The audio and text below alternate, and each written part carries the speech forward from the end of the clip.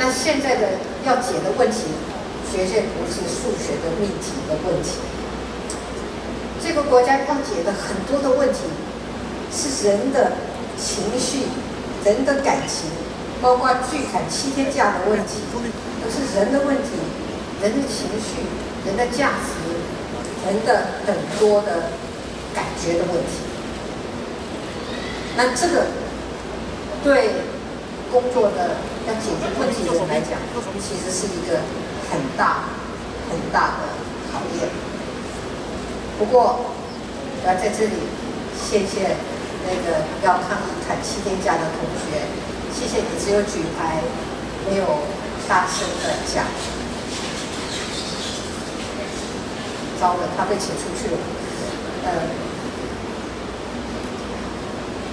我刚才有讲到要耐心，但是更重要的是要有解决问题。而在今天的社会里面，解决问题都是人的问题。那我的任务就是跟一群人一起来解决这个问题。那解决问题是为了什么呢？那我们要想，解决问题是要实现我们的价值。实现我们对未来的想象，实现一个让这个社会可以更好，生活也可以更好。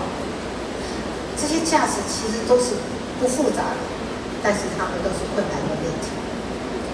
领导人必须领导一个社会，但是社会也必须一起动起来，我们才会共同来解决这个问题。所以你问我的热情来自于哪里？热情来自于。我从小到大那种解数学的那种热情，我今天面对台湾这么多的问题，其实对任何人都是一个挑战。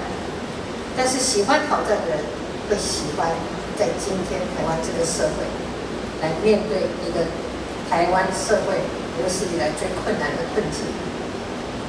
那我们一题一题的去解，终有一天我们会把大部分的问题都解开，那台湾的社会。会比较好，我们会更更多的爱心来照顾我们的小动物，跟我们周边的我们的保育生态等等。所以对于年轻人，我只有一件事情，真的每一件事情都值得你去探索，每一件事情都值得你去试一试，每一件事情。每个节都值得你花时间去记。我知道现在很多的年轻人毕业的时候在找工作，不是找不到，而是他找不到他喜欢的工作。但是我要跟各位同学讲，不管你喜不喜欢，每一个工作，它都会带给你一个有成长的一个机会。